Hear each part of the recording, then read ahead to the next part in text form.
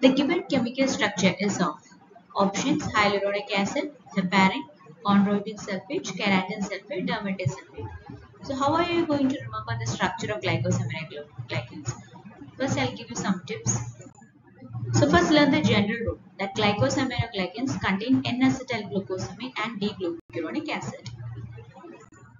That is hyaluronic acid, the structure of hyaluronic acid containing D-glucuronic acid and N-acetylglucosamine.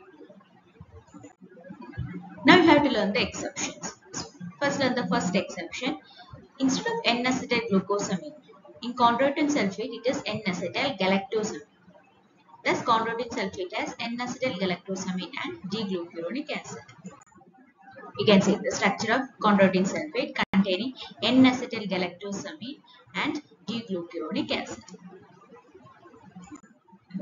So the given chemical structure is of. So what is the answer? This is N-acetyl galactosamine and this is D-glucuronic acid. So it is chondroitin sulfate. Now we will see the structure of dermatan sulfate. Dermatan sulfate also has N-acetyl galactosamine. Okay. Also heparin. Heparin is non-acylated and it contains glucosamine. That is D-glucosamine and it contains L-iduronic acid. So that is the second exception. Instead of D-glucuronic acid, it can be L-iduronic acid in heparin and also dermatan sulfate. So heparin has glucosamine and iduronic acid and dermatan sulfate has iduronic acid and N-acetyl galactosamine.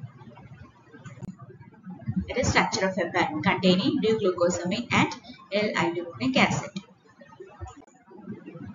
Instead of glucuronic acid is galactose and keratan sulfate. So keratan sulfate has N-acetyl glucosamine and galactose. It's N-acetyl glucosamine and galactose in keratan sulfate. So that is the structure of all glycosaminoglycans which is very important for all competitive examinations. So all the best. Thank you.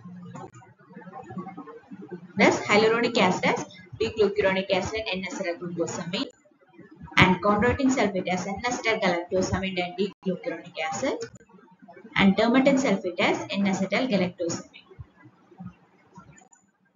Heparin has L-iduronic acid and G-glucosamine and keratan sulfate has galactose and N-acetylglucosamine.